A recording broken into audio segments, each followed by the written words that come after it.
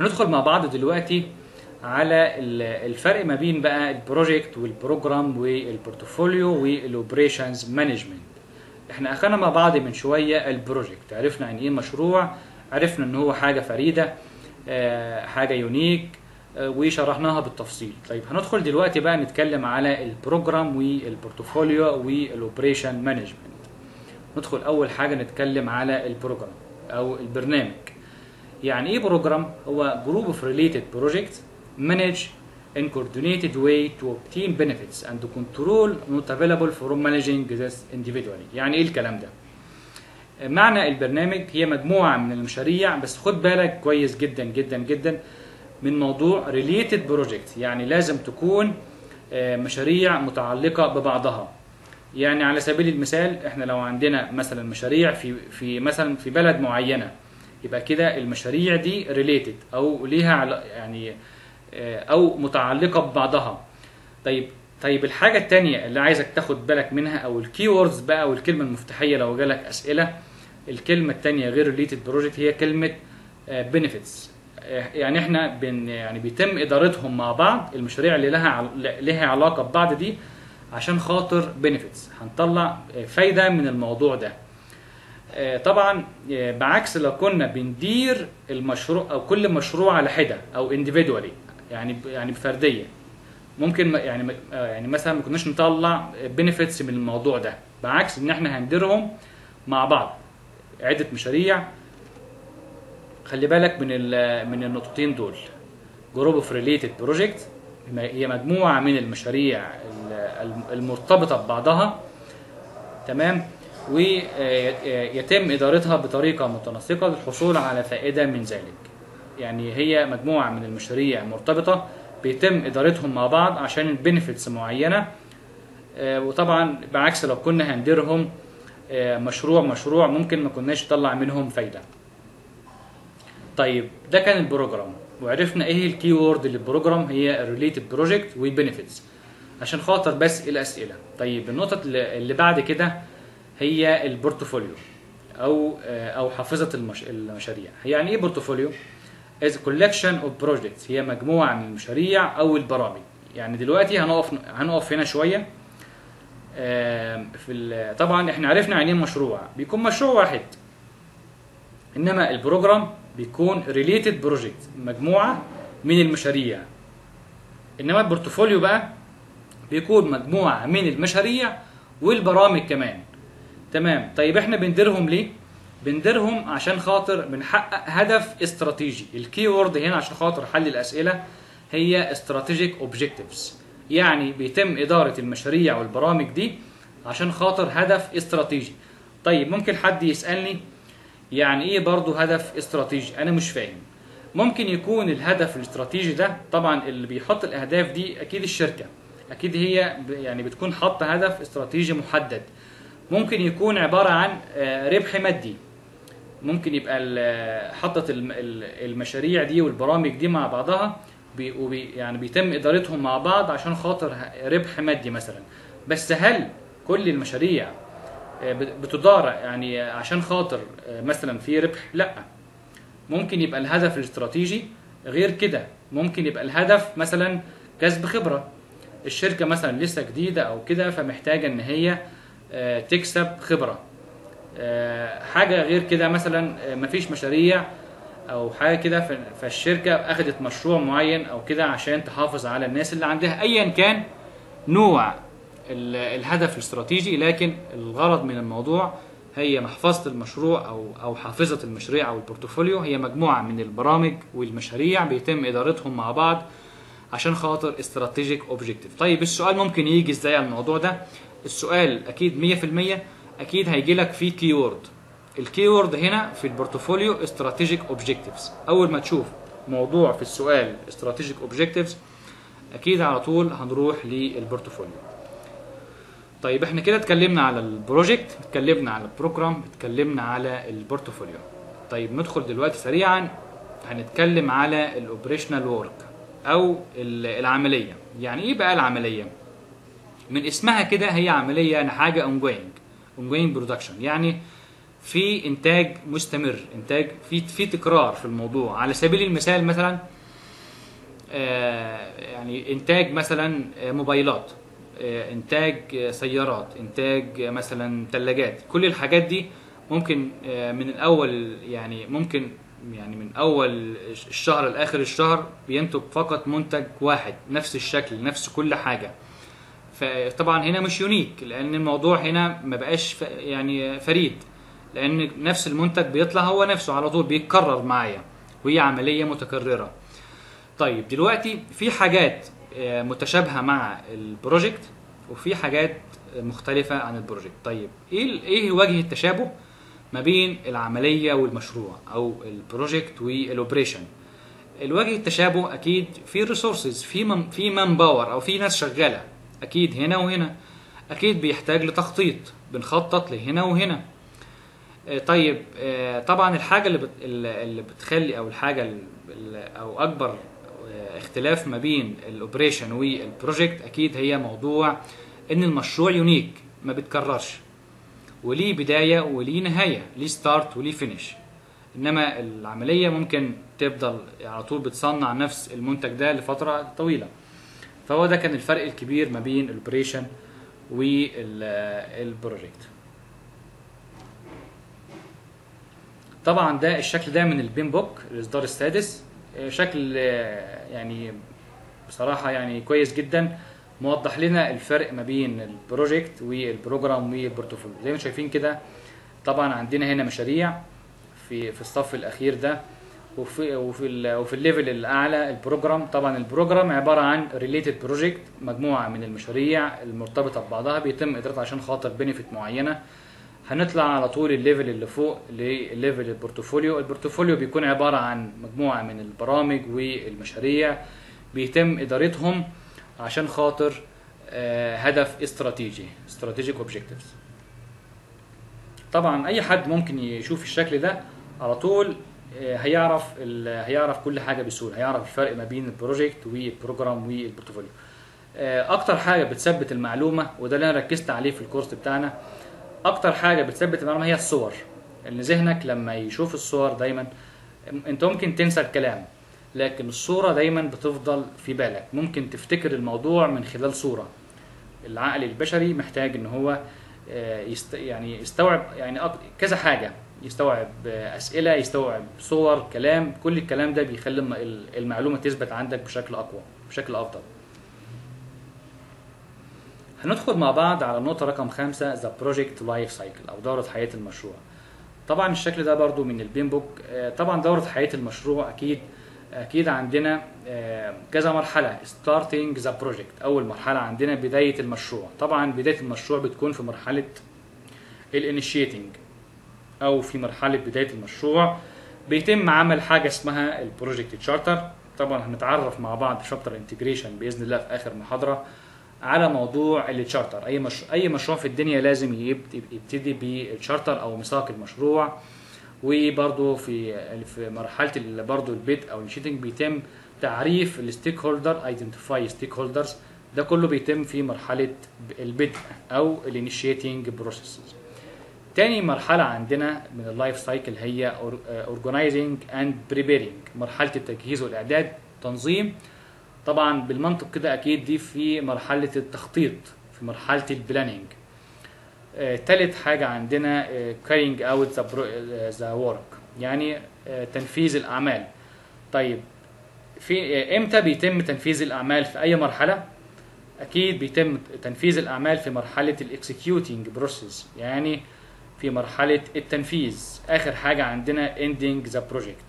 إغلاق المشروع. أكيد بعد ما بنفذ المشروع أكيد في النهاية آه، بنف... بننهي المشروع. أي مشروع في الدنيا ليه start و end ليه بداية وليه نهاية. طيب حاليا ممكن حد يقول لي مرحلة ال monitoring and control مرحلة ال- ال control ومرحلة ال- المراج... ال- المتابعة أو مرحلة ال control دي بتتم في جميع مراحل المشروع. دي نقطة مهمة جدا. لو أنت فهمتها هتفهم وهتوفر على نفسك حاجات كتير جدا. طول الكورس بتاعنا وطول مذاكرتك لل PMBOK. لازم تكون عارف كويس جدا إن مرحلة ال monitoring and control أو مرحلة المتابعة آه، هي مرحلة أو هي عمليات بتتم في جميع المشروع. يعني بتتم مثلا من أول مرحلة ال initiating في وإحنا لسه بنعمل الشارتر أكيد لازم بنعمل control على الموضوع ده عشان نشوف بيتعمل بشكل جيد ولا لأ. وفي مرحلة ال planning وإحنا لسه بنعمل ال plans أو الخطط وال baselines أو الخطوط المرجعية وإحنا بنخطط للمشروع لازم نشوف هل إحنا بنخطط صح ولا لازم ناخد اكشن معين.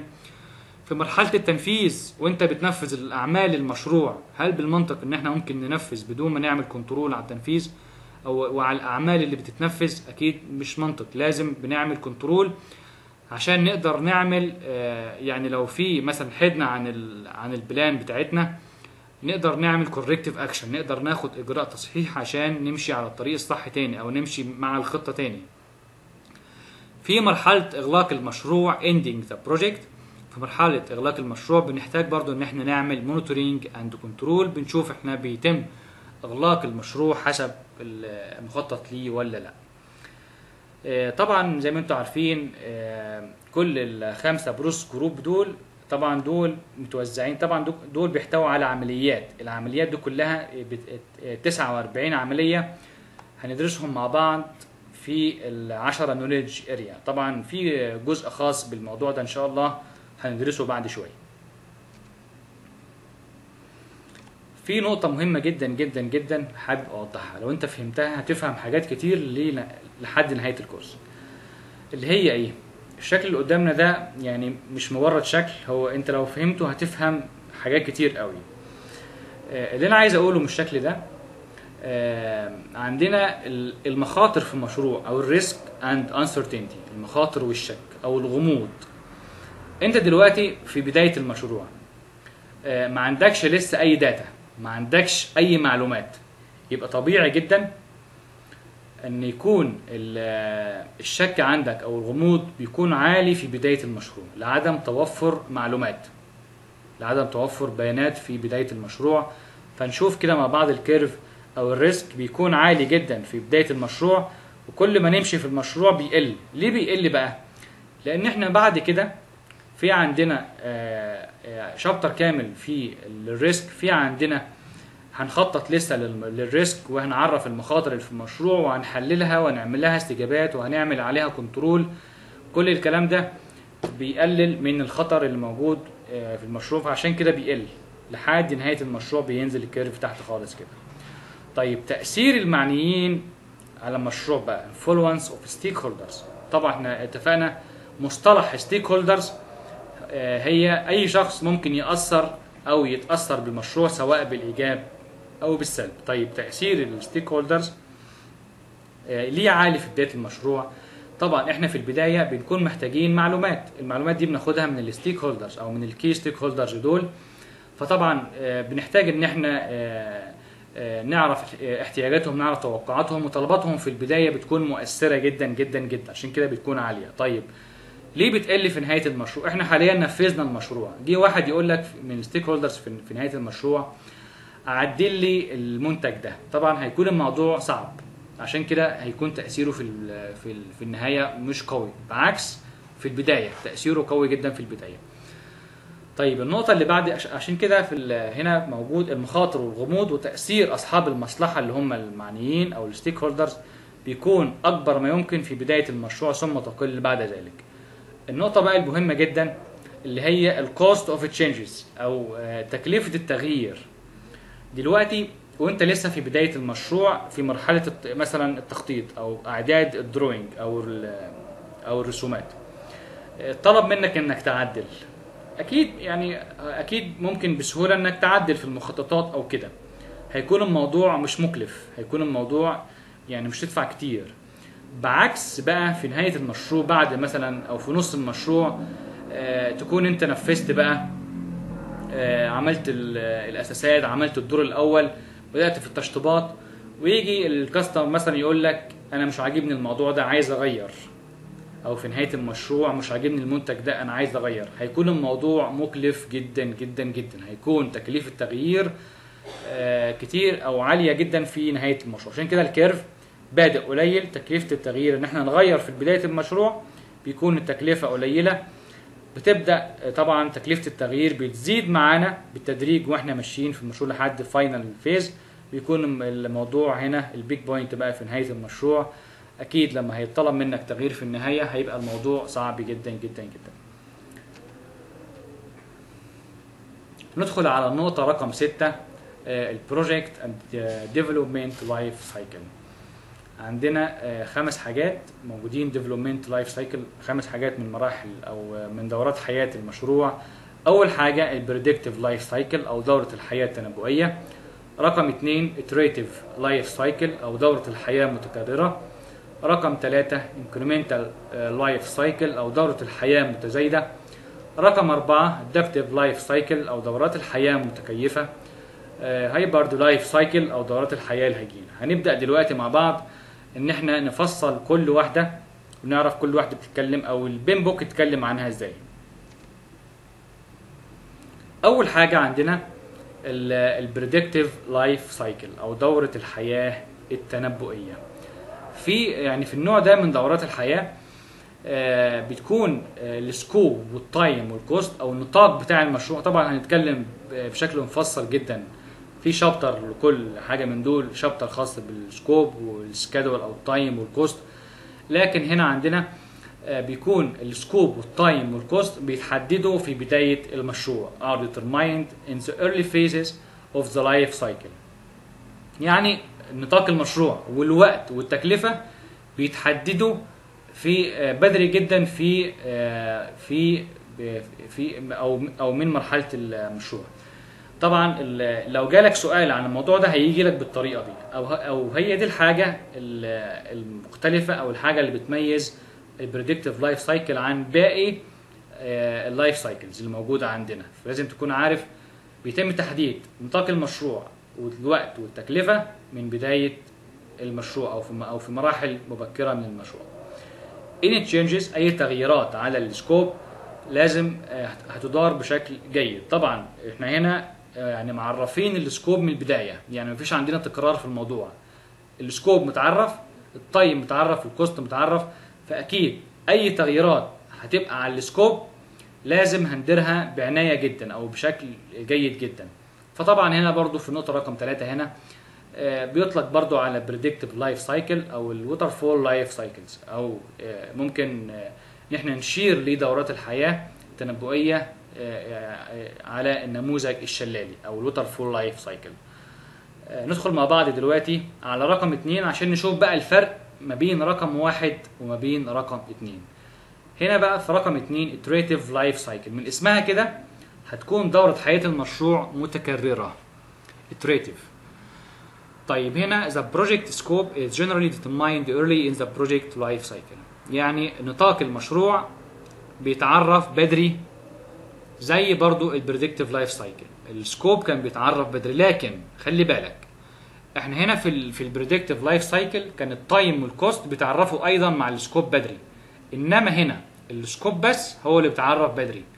إنما ال time وال cost آه، بيتم تعديلهم أثناء المشروع على حسب وجهة نظر أو حسب فهم آه، فريق المشروع إزاي إن هو يزيد في المنتج. يحدد نطاق المشروع بصفة عامة مبكرا في دورة حياة المشروع. بيتم طبعا تعريفه بدري early in the project life cycle. ولكن ال time وال cost بيتم تعديل آه، تقديرات الوقت والتكلفة. تعديل روتيني حسب فهم فريق المشروع الزيادات في المنتج. يعني هو بي- بيغير في ال time وال cost عشان خاطر زيادة المنتج. طيب إزاي بقى هنزود في المنتج أو هنزود من الإنتاجية دي؟ أكيد عن طريق ال iterations أو عن طريق التكرار. تقوم التكرارات بتطوير المنتج من خلال سلسلة من الدورات المتكررة. يعني هن هنطور من المنتج iterative develop the product through a series of repeated cycles. عشان نطور من المنتج بتاعنا هيتم آه، عمل دورات متكررة. series of repeated cycles. يعني عشان يعني قبل بس ما نقلب من الصفحة دي عشان خاطر الاسئله أنا دايما بحب أكد على موضوع الأسئلة عشان هو ده الهدف ال- أكيد في البداية إحنا بنحب نفهم الناس تكون فاهمة والهدف التاني بقى إن الناس تبقى عاملة حسابها إزاي ممكن السؤال يجي لك في الاختبار.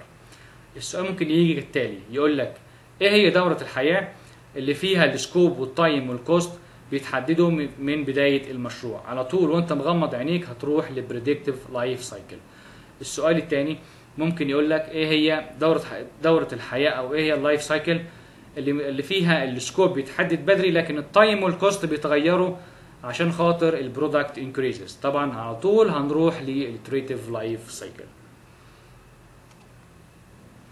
هناخد النقطة رقم ثلاثة ال incremental life cycle أو دورة الحياة المتزايدة. هنا في النقطة دي بيتم آه، أو أو بتنتج التسليمات من خلال سلسلة من التكرارات التي تضيف الوظائف بصورة متتابعة في إطار زمني محدد مسبقا. يعني إيه برضو الموضوع ده؟ يعني إيه أصلا كلمة deliverable طبعا الكلمة دي هنتعرف عليها بشكل كبير جدا أثناء ال course بتاعنا ال deliverables أو اللي هي المخرجات أو التسليمات اللي بتنتج من المشروع. ال- أي مشروع في الدنيا وإحنا بنعمله بنطلع بنطلع منه مخرجات أكيد أو هي دي اللي إحنا بنسميها deliverables آه، طيب المخرجات دي أو التسليمات دي بتطلع إزاي؟ بتطلع آه، عن طريق series of iterations مجموعة أو سلسلة من التكرارات. التكرارات دي هي اللي بتضيف ال functionality أو الوظائف بتكون طبعا بتكون بصورة متتابعة في إطار زمني محدد مسبقا predetermined time frame بيكون فيه وقت محدد مسبق بيتم فيه الموضوع ده. طيب النقطة رقم أربعة الأدابتيف لايف سايكل أو الأجايل أو التريتيف أو الإنكريمنتال. طبعا الموضوع ده آه، زي ما إحنا وضحنا هنا see appendix X3 في آه، موضوع كامل أو آه، أو أو كتاب كامل عن الموضوع ده موضوع ال agile. طبعا في بس نقطة حابب أتكلم عليها إن موضوع ال agile ده يعني حسب آخر كلام وصل لنا إن هو يعني مش هتيجي في الامتحان. عشان كده إحنا يعني هنعدي الموضوع ده. ندخل على الموضوع اللي بعد كده. موضوع ال hybrid life cycle أو دورة الحياة ال- الهجين. آه، طبعا من اسمها hybrid. يعني أكيد في combination ما بين حاجتين. إحنا هندمج حاجة بحاجة. اللي هي إيه؟ combination of predictive أول حاجة أخدناها وال adaptive life cycle. هي مزيج من دورة الحياة التنبؤية والمتكيفة يعني هتاخد من خصائص اللي كانت موجودة في دورة الحياة ال predictive وهتاخد برضو من خصائص اللي موجودة في ال adaptive life cycle وهنعمل دورة حياة هجين ما بين الاثنين دول. Those elements of the product that are well known. طيب آه، العناصر عناصر المشروع اللي بتكون معروفة أو المتطلبات اللي بتكون ثابتة هنتبع ال predictive development life cycle طيب طيب مش هما الاثنين هجين؟ طيب إمتى بقى هن... هنعمل دي؟ إمتى هنعمل دي؟ لما تكون عندك عناصر المشروع معروفة أو أو متطلبات المشروع ثابتة fixed requirement هنمشي أو هنتبع أو هنعمل follow لل predictive development life cycle طيب لو لو عناصر المشروع بقى مش ثابتة محتاجة بقى دايما تطوير still evolving هنتبع إيه؟ هنتبع ال adaptive development life cycle أو هن أو موضوع ال agile طبعا إحنا عارفين موضوع ال agile بيعتمد دايما على موضوع التغييرات آه، أو هو أصلا اسمه ال change driven life cycles فلما لما يكون الموضوع أو عناصر المشروع محتاجة دايما تطوير هنتبع ال adaptive لما تكون متطلبات المشروع ثابتة من البداية أو محددة جيدة من البداية هنتبع ال predictive life cycle ده كان بشكل كده مختصر على ال- الخمس أنواع من ال development life cycle يعني أنا بس مش حابب الناس إن هي تمل من الموضوع. زي ما وضحت في في البداية ان إن ال framework شوية نظري شوية نظري لكن الموضوع هيبدأ يبقى كويس أو ممتع مع الناس من بداية من لما نشرح بقى chapter ال scope كل الحاجات دي تبقى مثلا تتكرر معانا فالموضوع هيبقى سهل بالنسبة للناس بإذن الله.